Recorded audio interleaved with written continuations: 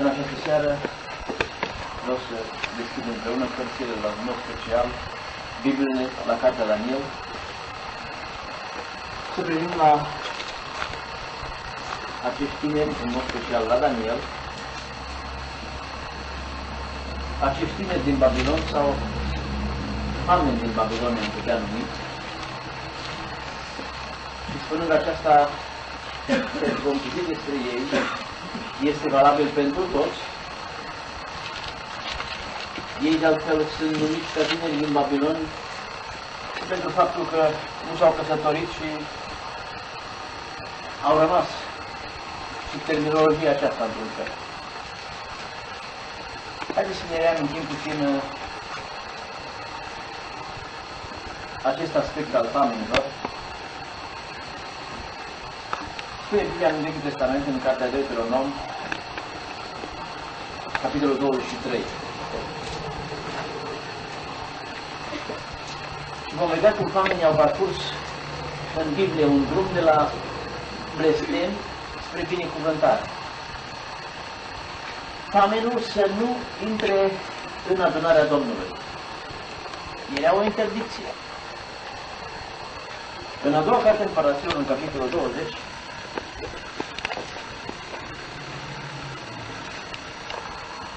scrie în versetul 12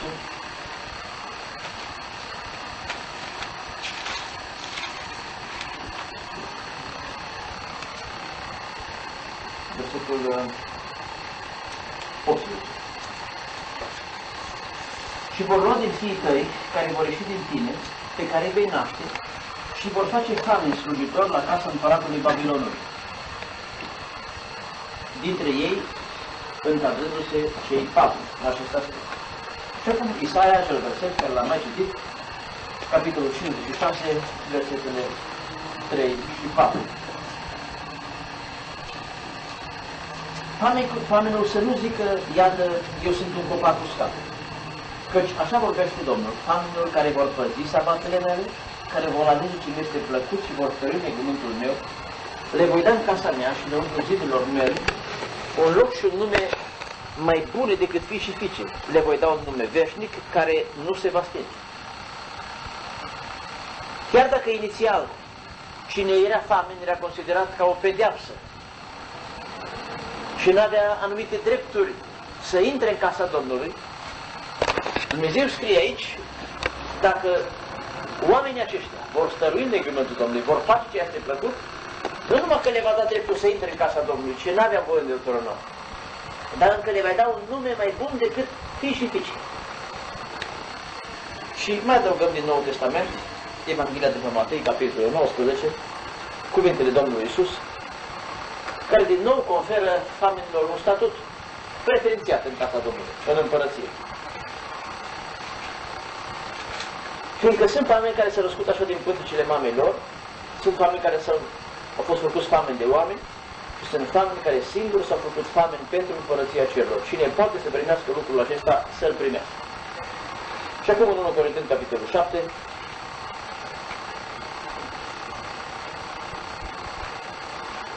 noi nu vrem să facem pe nimeni fameni cu desila. Am uitat aceasta că este valabil pentru cei care sunt chemați la lucrul acesta, dar e un mod special, de aceea citim din capitolul 7, versul 32 și versul 34, că în situația aceasta sunt toți până a nu se căsători. Adică pot să se dorească Domnului, precum ceilalți care nu pot face toată viața. Cine nu este însurat se îngrijește de lucrurile Domnului. Cum ar putea să placă Domnul? Exact ce am citit în Isaia, că dacă familii vor face și vor alege ce place Domnului. Și versul 34, pentru fecioare, să fie sfântă și cu trupul și cu Duhul și să se îngrijească de lucrurile Domnului. Să ne ducem acum la cartea prorocului Daniel, rămânând pentru mare parte aici în această casă.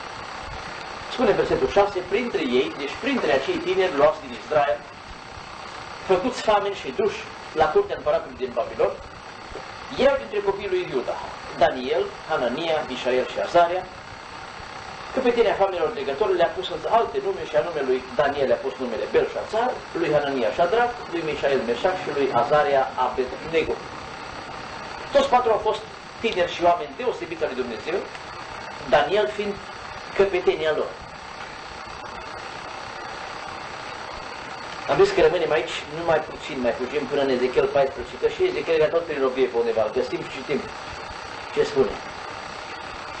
Aici sunt amintiți în Ezechiel 14, de la versetul 14, trei oameni.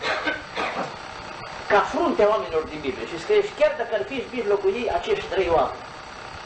Noe, Daniel și Iov. Noe și Iov trecuseră de viață, de mult. Daniel însă era viață. Deci a fost pus alături de niște sfinți care au încheiat viața cu bine, oameni care au trăit cu sute de ani, și acest om încă în timp ce era în viață. Așa statut, așa nume avea înaintea lui Dumnezeu. Privind la biografia, la autobiografia sa, pentru că el scrie cartea cu același nume, putem să ne dăm seama din uh, capitolul 7 cu 1 al cărții sale, de exemplu, În anul din tia lui Belșațar, împăratul Babilonului, Daniel a visat un vis și a avut vedere în mintea lui, pe când era în pat. În urmă, a scris visul și a istorisit lucrurile de căpetenie. Deci el o recunoaște că a scris aceste lucruri. Și în 12 cu 4, Dumnezeu autentifică lucrarea aceasta de scriere a lui Daniel. Tu însă, Daniel, ține ascunse aceste cuvinte și pecetuiește cartea. Deci el a scris-o sub călăuzirea Domnului. Până la vremea sfârșitului. Atunci mulți o vor citi și cunoștința va trece. Încă în timp ce era Daniel în viață, Dumnezeu a prevăzut că noi acum vom face studiul din cartea prorocului Daniel. Privind la originea sa, scrie în versetul 3 din capitolul 1, Împăratul a dat poruncă lui Așpenas, căpetenia familiilor săi dregători, să-i aducă vreo câțiva din copiii lui Israel, de neam împărătesc și de viță boierească. Acum eu nu știu exact. A fost Daniel prinț, deci unul din fiii spiței împărătești, sau a fost un fiu a unei familii bogate. Dar una din acestea două. A fost luat rob în Babilon, spune în versetul 4, niște tineri fără vreun cusur trupesc, frumos la chip, înzestrați cu înțelepciune în orice ramură a științei. Rezultă de aici că Daniel deja, și este normal, datorită originii sale, fie din casa părintească, fie dintr-o familie bogată, parcursese clasele primare, cum am spune noi, în regatul lui Iuda urmând aș completa și continua studiile superioare, cum am spune noi, în Babilon, spune în continuare în uh, versetul 4, ca să învețe scrierea și limba haldee. Timp de să crească timp de trei ani, după care vreau să fie în slujba în fără. Aceasta a fost educația lui Daniel. Pe lângă această educație școlastică, pământească, el a avut o educație care din nou a început în Iuda, în Țara Sfântă, și a fost completată și continuată în Babilon. Am citit aici că ei trebuiau să fie cu minte ageră și pricepere. Noi cunoaștem cine a binecuvântat pe tine aceștia cu minte ageră și pricepere. Dumnezeu aveau noțiuni despre lege și lucrurile sfinte, le învățaseră acasă, Iuda. Dar spune versetul 17, Dumnezeu a dat acestor patru tine știință și pricepere, pentru tot felul de scrieri și înțelepciune, mai ales când s-a făcut pe Daniel priceput în toate vedenile și în toate visele. Eu cred că cei patru, în activitatea lor separată de colectivitatea studenților din Babilon, își țineau la zi studiile lor de Tora din Vechiul Testament, Rezultă mai târziu din cartea profetului Daniel că el citea și pe prorociile lui Ieremia și cred că toate sursele care avea la îndemână le folosea ca împreună cu ceilalți trei, deci toți patru, să își păstreze la zi și proaspătă în mintea lor cunoștința despre Dumnezeu și despre lucrurile sfinte. El a slujit în viață, citim în capitolul 2, capitolul 40, versul 48, apoi împăratul a înălțat pe Daniel și i-a dat daruri multe și bogate, i-a dat stăpânire peste tot ținutul Babilonului și l-a pus ca cea mai înaltă căpetenie a tuturor înțelepților Babilonului. A fost, am putea spune, căpetenia înțelepților. Și în capitolul 11, versetul 1, pe lângă această funcție culturală, științifică, spune 11 cu 1, în anul din tâi al lui Dariu, Medul, eram cu el ca să-l ajut și să-l sprijinesc. Deci a fost implicat și în domeniul guvernamental, în domeniul politic, cum ar fi tradus acum. A trăit aproximativ din anul 606 înainte de Hristos până 534 înainte de Hristos. Asta fiind anul în care a fost luat rob, până când îi se păstrează date despre el. Făcând socoteala, mai mult de 70 de ani de activitate și peste 90 de ani de viață. Exact Dumnezeu știe la ce ori l-a trimis la culcare în capitolul 12. Să privim acum la acest tânăr. Până acum au fost niște chestiuni generale, însă vreau să privim acum aproape la tânărul acesta Daniel. Mai întâi la niște condiții și calități moștenite și apoi la condiții și calități dobândite. Pentru că fiecare din noi moștenim câte ceva. Într-o privință sau într-alta, iar altele le dobândim în viață. Unii mai dobândesc lângă ceea ce au spunea Domnul celui ce are, îi se mai dă. Iar alții și din ce au din start și celui ce are, unora îi se pare că are, îi se ia.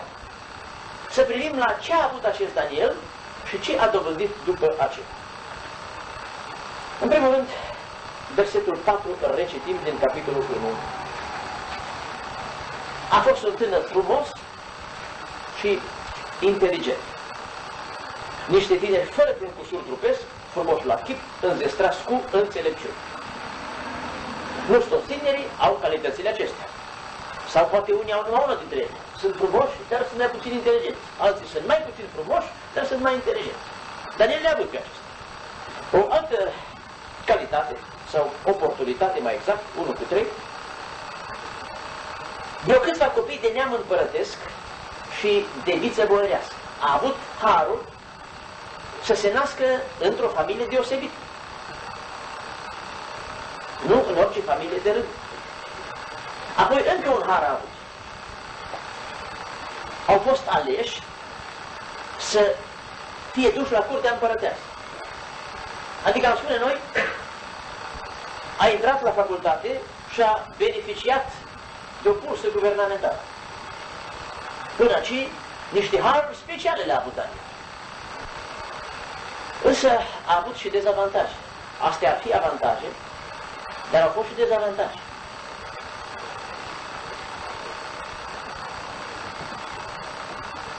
A fost făcut famă. A fost despărțit de casa lui și de țara lui. Și pentru Daniel asta nu era o plăcere. Pentru că rezultă din restul vieții că el a fost înclinat spre Ierusalim, deschidea ferestrele. Nu putea să vadă Ierusalim. Inima lui izbura într-acolo. El a fost rupt de familie și de popor. Și apoi a avut și dezavantajul unui mediu și a unor colegi. Spune, de exemplu, versul 8, dar ei s-a hotărât să nu se scurce cu bucatele alese ale împăratului. Aici a fost un dezavantaj. Nu putea să facă ceea ce vrea, n-avea nicio posibilitate să-și impună regulile lui decât să aștepte mila și îndurarea Domnului și el să se hotărească să rămână credincios. A fost dezavantajul acesta al presiunii Babilonului asupra lui. De la versetul 7 până la 11 se vede puțin situația aceasta. Să citim puțin în uh, Versul 10. Mă tem numai de Domnul meu împăratul, care a hotărât și trebuie să mâncați și să beți, ca nu cumva să vadă fețele voastre mai triste decât a celor tine, de vârsta voastră, și să-mi puneți astfel capul în primești. Dacă era în primești de capul îngrijitorului, capul lor nu era în primești, putea să spună eu, le dat. Ăștia nu vor să se supună, nu vor să încadreze. Nu vor să învețe și să se adapteze la nou sistem de viață. Aici au fost dezavantajele sale. Să venim acum la ceea ce el a dobândit pe parcurs. 1 cu 19. În toate lucrurile care țineau înțelepciune și pricepere, 19. Împăratul a stat de vorbă cu ei, dar dintre toți tinerii aceia nu s-a găsit niciunul ca Daniel, Hanania, Mișael și Azare, de aceea au fost primiți în slujba împăratului. Am citit în versetul 6 că printre ei erau deci mai mulți tineri din țara Sfântă au fost duși acolo. Dar au fost primiți în slujba împăratului și alți iudei? Nu, rezultă că nu. Decât acești patru. Eu știu, n-au promovat școala, n-au promovat examenul lor de intrare pe post. Aici n-a mai fost ceva dobândit din oficiu. Că și alții evrei au mai fost frumoși. Și alții au avut harul să intre la școală. Dar n-au dobândit locul acela de slujbă în imperiu. Aici a dobândit el lucrul acesta. Și în a dobândi apare efortul său. Din naștere noi dobândim lucruri diferite. Unul e mai inteligent într-o parte, într-alta, mai frumos sau nu. Unul se naște o familie, altul într-alta, altul ajunge să îi pună grijă să meargă dincolo, altul intră la școală, altul n-are șansă și nu intră la școală. Asta e diferit. Și Daniel a avut și oricare dintre noi lucruri cu plus și lucruri cu minus. Avantaj, dezavantaj. Unul e sănătos, altul nu e sănătos. Ceva lipsește. Toate nu o să fie nicăieri. În rai. Dar, dacă suntem credincioși ca Daniel, dobândim și cele care le dobândim sunt importante în viață. Spune felul în care el a dobândit prin efort lucrurile acestea. Unul cu Daniel s-a hotărât să nu se scurce cu bucatele alese ale împăratului și cu vinul pe care bea împăratul și-a rugat pe căpetenia familiilor trecători să nu silească să scurce.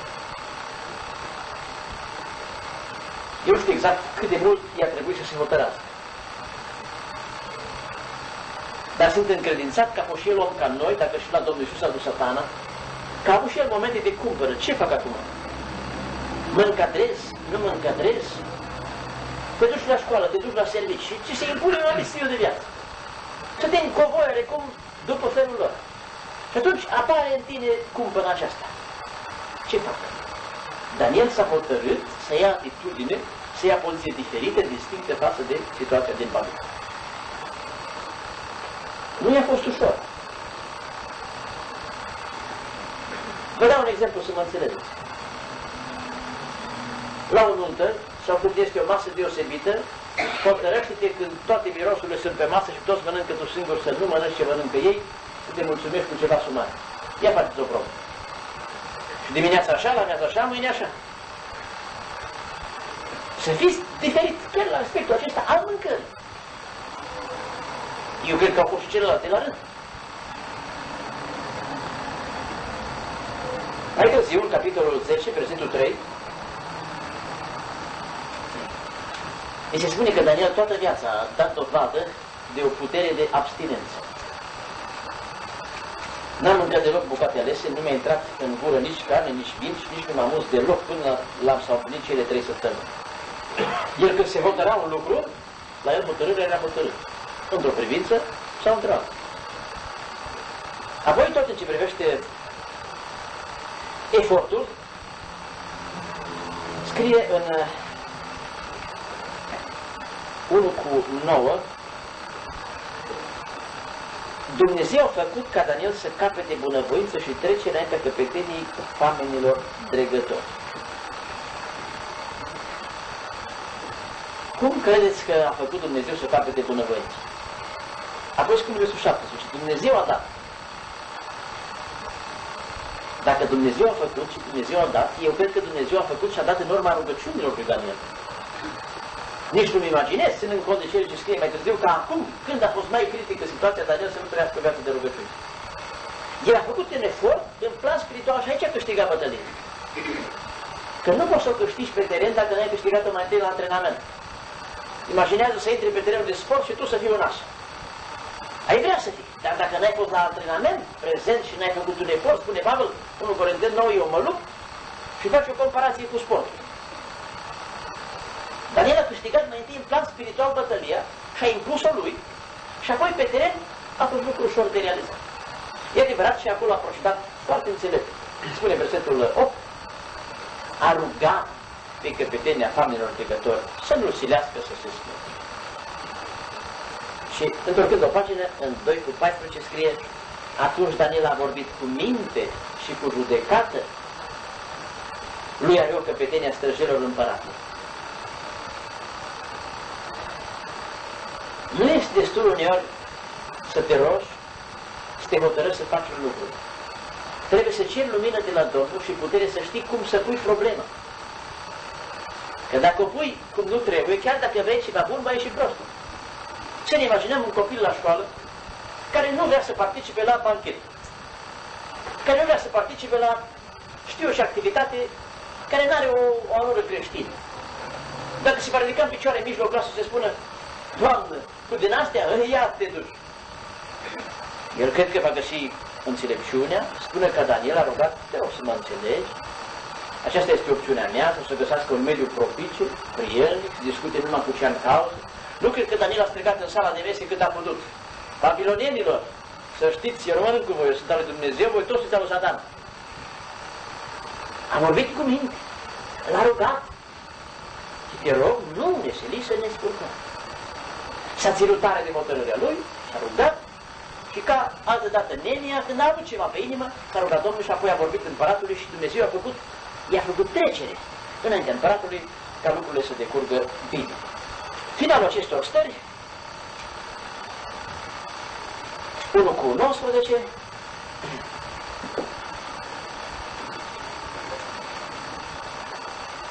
Împăratul a stat de vorbă cu ei dar între toți tinerii aceia nu s-a găsit niciunul ca ei. În toate lucrurile care cereau înțelepciune și pricepere și despre care întreba împăratul, îi găsea de 10 ori mai de soi decât toți prăjitorii și torii stele care erau în toată împărăția. Adică au luat, am spune noi, notă maximă, punctaj maxim la examen. Și chiar după ce a ajuns mai departe în slujbă, și-a menținut acest har pe care l-a dobândit cu ocazia examinării, spune versul 16 din capitolul 2, și Daniel s-a dus la împărat și l-a rugat să dea o vreme ca să dea împăratului tâlcuire. A avut acces și-a impus numele, starea, prin ceea ce el a făcut și a lucrat în, în Babilon. Să privim acum la omul Daniel. Asta a făcut când a fost tânăr, când a fost la școală. Acum, ce a făcut el după ce a ajuns matur? Că parte din dumneavoastră sunt deja maturi, alții adolescenți, alții deja mai mari. În capitolul 6, versetul 3 scrie Daniel însă întrecea pe toate aceste căpetenii și pe dregători. Nici după ce au ieșit alte promoții de studenți. N-a fost niciunul la talea lui, nici înaintea lui. Nu numai a fost șef de an, pentru că în el era un duh înalt. Eu nu știu ce înălțime a avut Daniel, dar Duhul în el era mai înalt decât toți din Babilon. Un om cu Duh înalt. Din naștere vă spuneam că a fost el puțin mai zdravă și mai înalt, dacă ar fi să facem o comparație. Dar a crescut tare bine după aceea. S-a dezvoltat în mod deosebit. Așa s-a hrănit în cele sfinte, chiar în cele trupești, materiale, a fost atent încât a ajuns un om înalt.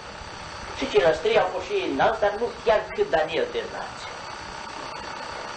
Dacă i-am întrebat tinerii, în mod special băieții, vor să fie mai înalți. Și poate și fetele doresc un anumit lucru. Dacă pământește, trupește, ne dorim să fim înalți frumoși, Daniel a fost înalt și frumos și din naștere, dar a devenit apoi mai înalt și mai frumos. Și când a fost în vârstă, tot frumos era. A fost o, o eminență, a putea spune Daniel, o eminență politică, culturală, științifică, religioasă, cum s-ar spune, un om al lui Dumnezeu. Uitați-vă ce scrie despre el în capitolul 4, versetul 8. Ce spuneau cei din Babilon. La urmă de tot s-a înfățișat înaintea mea Daniel, numit Belșațar, după numele Dumnezeului meu, și care are în el Duhul Dumnezeilor celor sfinți. Asta recunoșteau babilonieni. Că ăsta e Pentecostal, are în el Duhul Dumnezeilor celor sfinți. Și apoi, în capitolul 5, versetele 11 și 12, în altă dinastie, nu doar dinastie, în alt imperiu, în împărăția ta este un om care are în el Duhul Dumnezeilor celor sfinți. Rețineți expresia aceasta. Se poate spune despre el. Și pe vremea tatălui tău s-au găsit la el, avea Daniel la el, lumini, pricepere și o înțelepciune dumnezeiască. De aceea împăratul Nebucanțar, tatăl tău, da tatăl tău împărate, l-a pus mai mare peste vrăjitor, cititor stele, haldei, cititor și anume, pentru că s-a găsit la el, la Daniel, numit de împărat Belșațar, un duh înalt, știință și pricepere, putință să tălchească visele, să lămurească întrebări grele și să dezlege lucrurile întulcite. Să fie chemat dar Daniel și îți va da tâlcuirea. Așa i-a recunoscut. Gândiți-vă dacă ar fi avut Daniel un birou notarial sau o altă lucrare de specialitate. Câte ar fi trebuit să scrie la ușă, pe ușa lor? Calificările lui Daniel. În capitolul 2, datorită acestor lucrări, se spune că mereu era avansat. 2, versetul 48. Apoi împăratul a înălțat pe Daniel. Deci imediat ce termina școala, era și primul. Dar după prima lucrare dumnezeiască, împăratul l-a mai înălțat era darul multe și bogat. I-a dat stăpânire peste tot ținutul Babilonului. Am spune, noi l-a pus prefect sau primar în capital. Și l-a pus la cea mai înalt, ca cea mai înaltă căpetenie a tuturor înțelepților Babilonului. Și președintele Academiei, Arcuvardei. Astea două funcții le-a adus Daniel. Dar ce îmi place de el? Spune versetul următor că la Daniel nu-i plăcea cumulul de funcții. Daniel a rugat pe împărat să dea grija treburilor ținutului Babilonului în mâna lui Shadrach, Meșa și Abednego. Daniel însă a rămas la curtea împăratului. A fost corect să spună Daniel așa, pentru că în capitolul 2, când n-a putut să deslege nimeni visul să-l tâlcuiască, el a rugat încă pe trei să-l ajute, pe cei trei. Dar cum a spus noi, nu singur mi s-a descoperit, numai eu m-am rugat ca toate funcțiile să le ține. Voi m-ați ajutat la rugăciune și acum mai numai pe drept să împart și cu voi nu, după ce am primit. Eu cred că am părțit și darul. Așa credem. Că și mâncarea au împărțit-o tot împreună și au mâncat la fel. Apoi, în uh, capitolul 6, versetul 3, scrie din nou, împăratul se gândea să-l pună peste toată împărăția. Acum tânăr, aici în capitolul 6, la peste 90 de ani, bătrân timp. El e apt pentru toate acestea, dar nu le-a răzbit și a umblat neapărat după aceasta. Vreau să privim acum la ceea ce e mai frumos, cred eu, la calitățile lui Daniel. Rămânând în capitolul 6, versetul 4 și 5. Integritate și credincioșie. Atunci căpetenii și legătorii au căutat să afle ceva asupra lui Daniel, ca să-l părească în ce privește treburile împărăției dar n-au putut să găsească nimic. Niciun lucru vrednic, nu de amendă sau caz penal. Demonstrare, pentru că el era credincios și nu se găsea nicio greșeală la el și niciun lucru rău. Ne mai vedem de ce l-a trecut Dumnezeu alături de noi și eu? La guvernanți găsesc ziariști și găsesc și oameni de rând greșeli și vicini, nu? Nu în biserică, dacă nu umblăm cum trebuie, urgent ni se găsește. Că mi le spun pe față, sau că vorbesc numai în dos sau în șoaptă. Dar la omul acesta s-a găsit, s-a căutat, dar nu s-a putut găsi nimic. Niciun lucru demonstrat. Și să ai atâtea treburi la împărăție și să ai în urmă o activitate de 60 de ani. Eu cred că a căutat și în cariera lui. Pe cu atât mai mult era de acuzat dacă ar fi comis ceva regimul trecut. Dar nici în regimul trecut, cum ar fi acum cu dosarele și cu arhivele, nici în regimul trecut, nici în regimul actual, la Daniel nu găseau nimic. Credincios în toate, în toate lucrurile. Cum a putut să fie în viață un asemenea om? Cine nu și-ar dori? Poate cei care sunt deja mai trecuți în viață, este mai greu să retușăm totul. Dar cei care sunt tineri au șansa aceasta. Că nu degeaba viața lui Daniel este exprimată și scrisă în Biblie de tânăr, de copil. Eu cred că acești patru tineri au fost la fel de hotărâți în ce privește mâncarea ca în toată cultură. Ei au fost gata să moară pentru ceea ce cred. Și spune acolo, în versetul 8, să nu-i silească să se scurge. Că eu cred că Daniel nu ceda. Cu riscul exmatriculării din școală. Spun, nu ne sili să recurgem noi la posibilitatea de a ne împotrivi. Cum a dovedit-o și mai târziu. Atât de interes, să fie atât de credincioasă în cele mici cele mari, să nu găsească nimeni nimic.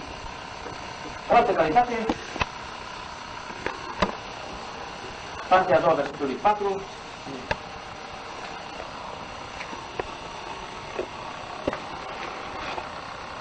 nu au putut să-l părească cu nimic în ce privește lucrurile împărăției. Și ne ajutăm puțin în urmă de un verset din capitolul 1, versetul 20, deci înțelepciune și capacități deosebite,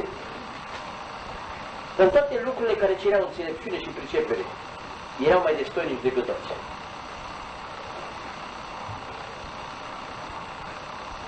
Am pus înțelepciunea în urma credincioșiei. Că înțelepciunea am dorit noi să fim mai abili și mai deștepți decât toți. Dar asta Dumnezeu vrea să dea la cei care sunt credincioși. Și de asemenea facem precizarea că așa Dumnezeu dă după o măsură, după un har și o chemare a fiecare dintre noi. Că nu va face Dumnezeu dintre noi toți oamenii în guvern sau pe undeva în slujbe din asta. Dar de pocăiți trebuie să fim tot, nu? Dar înțelepciunea în domeniu și în meseria ta sau în lucrarea din biserică, tot dorim să ne dea Dumnezeu. Și înțelepciunea să fie curată. Că asta e de sus și spune Iacov 3 că e pașnică și având toate celelalte calități. Un alt aspect, capitolul 5, versetul 17. Daniel a spus îndată împăratului, îndată, ține-l darurile și dă-l pe răsplătire. Totuși voi citi împăratului scrierea și eu voi tâlcui. N-a fost un materialist. Când au tineri care joacă la loto, îmi dau seama că ăsta nu-s cu Daniel. Ăsta a câștigat lotul într-o noapte. Și nu trebuie. Celălalt. Poate spunem noi că ne fură mintea unor și când trebuie și când trebuie. Dar n-a avut familie, pentru cine se trudească? E adevărat. Dar omul care este după înabuțire, care este avat, nu trebuie neapărat să aibă familie. Să nu dacă are familia destul, el să potește când este destul, pentru el nu este destul niciodată. Cine are calitatea aceasta o are și singur, o are și la nivel de familie. Cine o are, o are. Și nu stările din afară îl influențează, ci ceea ce are înăuntru lui. Altceva care este frumos, 4 cu 27,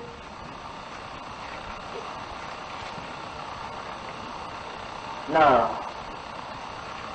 n-a bătut toată ziua pe împărat pe profesor la cap, dar când a găsit momentul să le pună adevărul în față, nu l-a ratat. Și nu împărate a spus. De aceea, împărate, placă sfatul meu. L-a găsit că acum a făcut Dumnezeu deschidere să-i poată vesti ceva. Une capăt păcatelor tale și trăiește de prihănire. Eu cred că Daniel știa toate dedesubturile. Mai ceva ca Ioan Mașina că prin dubile a descoperit la Erod. Dă stă tânzărea cu el. Rupe cu nilejurile tale. Ai milă de cei nenorociți.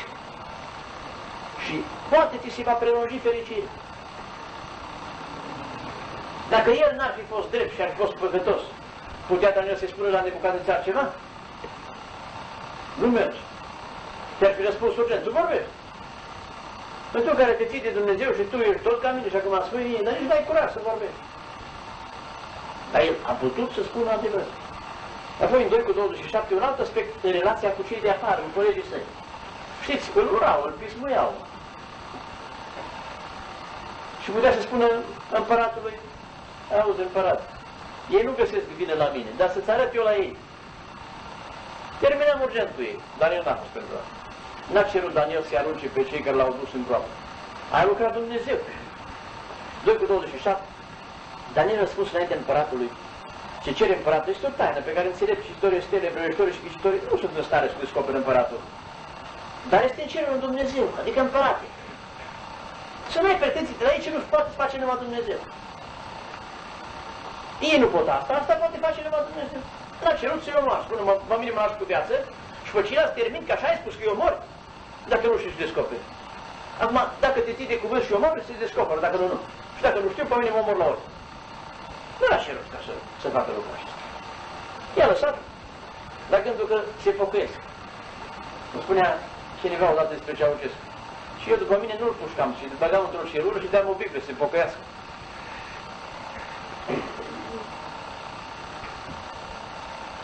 Daniel n-a pretins pentru sine slavă, n-a pretins pentru sine valori și toată slava a dat-o lui Dumnezeu. Hai să urmărim acum așa. În capitolul 2, versul 27 și 28. 28, sigur. Dar este în cerul un Dumnezeu care descoperă tainele și care face cunoscut împăratul Nebucatețar ce se va întâmpla în cerul. Că uitați ce spune 26. Ești în stare să întâlcuiești visul? Daniel nu știa. Dar nu și-a luat asta asupra lui, cum dacă vă amintiți din cartea Genesei, Iosif nimic nu lua pe el. Și spunea lui Faraon, nu eu, Dumnezeu te-a descoperit. Apoi mai târziu, în capitolul 5, versul 23, același lucru spune la nepotul său la versul 23, partea finală. Și n-ai slăvit pe Dumnezeu în mâna căruia este suflarea ta și toate căile tale. Când spune 21 mai sus, țara a recunoscut pe Dumnezeu cel prea mare. Din nou, el a pus față în față cu Dumnezeu. Apoi, în capitolul 6, uh,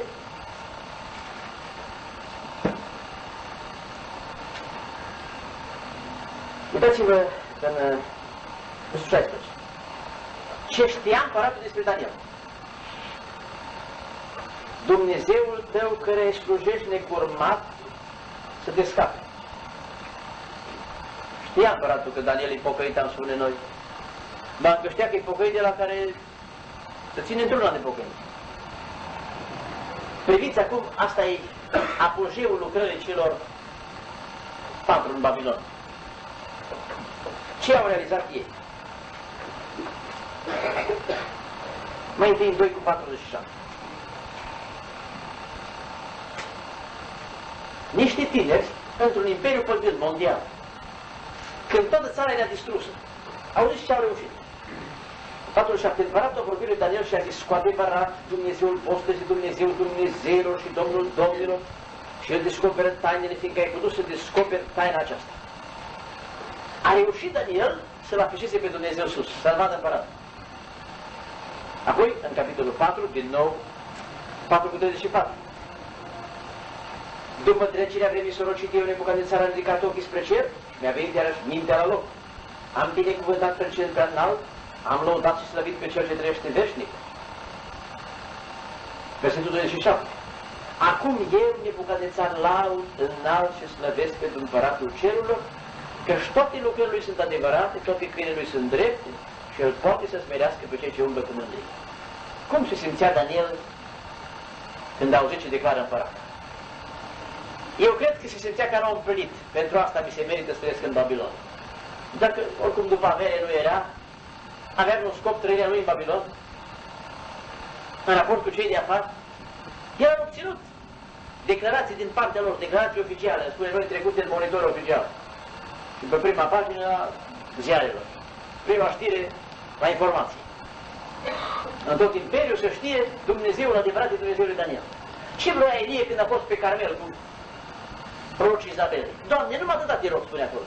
Fă să știe că tu ești adevărat Dumnezeu. De fapt, care e scopul nostru pe pământ? Să-L prezentăm și să înălțăm pe Dumnezeu. Apoi, în uh, capitolul 6, versul 27 și 28, Dariu acum. Poruncesc ca în toată întinderea împărăției mele, oamenii se teapă și se pricoșesc de Dumnezeul lui Daniel. Și Dumnezeu le-a cunoscut în Vechiul Testament că Dumnezeu la Avram, Isaac și Iacov. Dar ăștia nu știau de Avram, Isaac și Iacov. Ei știau tot, asta e Dumnezeu lui Daniel. Și ăsta e Dumnezeu cel mare. Că cine este Dumnezeu cel viu, El dăduiește veșnic, că împărăția Lui nu va fi nimicită niciodată și stăpânirea Lui nu va avea sfârșit. El izbăvește și mântuiește, El face semne și minuni în cerul și pe pământ, El a izbăvit pe Daniel din ghearele leilor. De trei ori. Dumnezeu prin Daniel și-a arătat slava în Babilon. Pe lângă aceste activități, care sunt activități sociale în lumea aceasta ce a desfășurat Daniel, ceea ce a făcut el în țara lui, să amintim o scurtă privire asupra sa ca proroc. A fost un proroc apocaliptic. Asta a fost lucrarea lui tainică. Nu știa Nebucanițar și ceilalți despre lucrarea aceasta. Nu înțelegeau ei. După cum cei de afară nu înțeleg în totul lucrurile sfinte. A Daniel a fost uh, un proroc care avea vedenii, uitați-vă în capitolul 2, versetul 19, ce spune. Taina cu visul de Bucadnețar i s-a descoperit lui Daniel într-o vedenie în timpul nopții. În mod deosebit, Daniel avea vedenii de noapte. Spune și în uh, capitolul 7, versetul 1, Daniel a visat un vis și a avut vedenii în mintea lui pe când era în pat. Mai că noaptea nu pot să aibă loc vedenii Dumnezeu dacă, decât dacă ziua ai umblat cu Dumnezeu. A, m-a avut și un alt fel de mesaje, capitolul 9, versetul 21. Pe când vorbeau eu încă în rugăciunea mea, a venit repede în zbor de omul Gabriel pe care văduse mai înainte într-o vedenie. Deci, în vedere respective se arăta Sergel, dar a avut și discuții personale cu îngerii, cuvinte profetice care le-a primit direct de la el. M-a întins, m-a atins în clipa când se aducea jertfa de seară, el m-a învățat, a stat de vorbă cu mine și mi-a zis. Și apoi mai departe, uitați-vă în capitolul 10, versetul 9, am auzit glasul cuvintelor lui, din nou și-a pus mâna peste el, i-a vorbit, versetul 19, din nou i-a vorbit până la 21 și mai departe. A fost un proroc care, fie că se derula activitatea sa în vedenii de noapte și când se scula dimineața scria, fie că Îngerul lui Dumnezeu, în momente speciale, spune aici, după timpul acela de dedicare pentru Domnul, s-a prezentat Îngerul la el și i-a spus toate acele lucruri. Nu a fost ușor activitatea ca proroc. Uitați-vă prin ce stări a trecut. Exemplu 4 cu 19. Atunci Daniel numit Belșațar a rămas uimit o clipă și gândurile lui îl tulburau. Capitolul 8, versetul 27. Eu, Daniel, am stat leșinat și bolnav mai multe zile. Apoi mi-am sculat și mi-am văzut de treburile împăratului. Eram uimit de vedenia aceasta și nimeni nu știa. Capitolul 10, versetul 2. În vremea aceea eu, Daniel, trei săptămâni am fost în jală. Versetul 9. Am căzut leșinat cu fața la pământ. Nu sunt ușoare slujbele acestea ce le-a avut Daniel. Tulburări, leșinări, frământări, dar el a dorit în mod deosebit lucrarea aceasta. A fost curândă pentru aceasta. Uitați-vă ce scrie în capitolul 2, versetul 22, când a primit prima vedenie care a trecut în cap.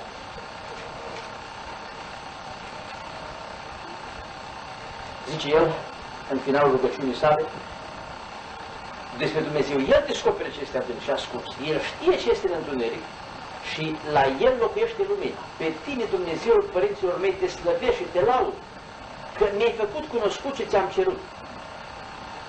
Lăudat pe Dumnezeu pentru ce descoperit și apoi din capitolul 7, versetul 19,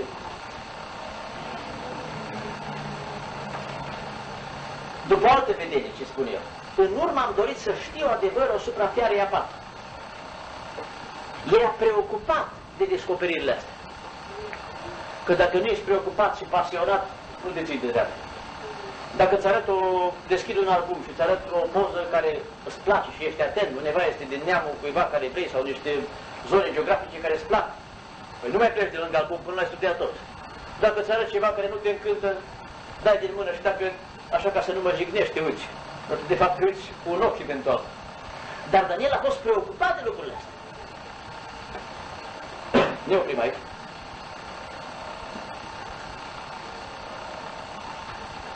Reamintind, îmi spun lucrurile care le-am parcurs, urmând ca data următoare, să discutăm și despre ceilalți trei și despre viața de rugăciune a lui Daniel. Uitați-vă dacă doriți până atunci, eu las să fie cald și proaspăt atunci. Viața de rugăciune a lui Daniel și activitatea celorlalți. Dar vă reamintesc în mare ceea ce am spus până Acești patru au avut anumite haruri speciale. S-au fost o familie bună, au fost minți, au fost la școală, dar au avut și dezavantaje. Au fost rupți de casa lor, le-a fost impus un nou stil de viață, au fost forțați, sigur n-aveau la cine să raporteze. Astea au avut ei din stat. Dar ce este frumos la ei? S-au luptat și au dobândit prin viața lor anumite lucruri deosebite.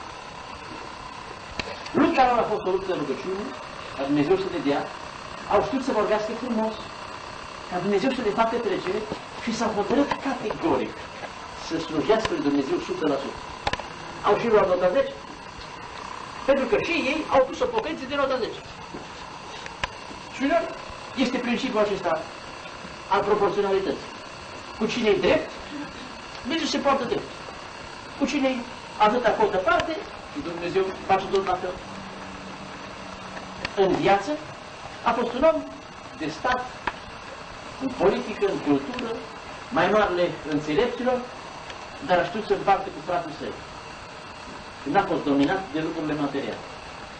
În schimb, ce e specific lui Daniel, aceste două lucruri, cred eu. Și din ele sunt, ele sunt roadele Duhului Sfânt, înțelepciunea, un dar, primul pe listă. Un duh înalt. În partea cealaltă ca roadă, așa credincioșie și integritate. N-a găsit la el nimic. Ca o aplicație practică. Nu să așteptăm până găsesc alții la noi nod în papură, că să ne spună dacă i-am întrebat și i-ar fi sincer și noi am dorit tot în mod sincer răspuns. Ce părere ai despre mine? Ce fel de om sunt eu? Unde sunt carențele și deficiențele mele?